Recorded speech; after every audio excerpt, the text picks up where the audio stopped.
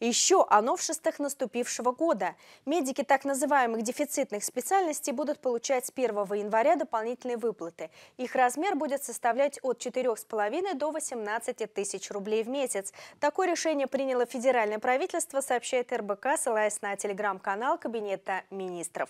Речь идет о тех профессиях, где наблюдается наибольшая нехватка работников. Это сотрудники скорой помощи, медики, которые работают в сельской местности и в отдаленных районах, работники стационаров, проводящие сложные исследования, например, связанные с диагностикой онкологических заболеваний.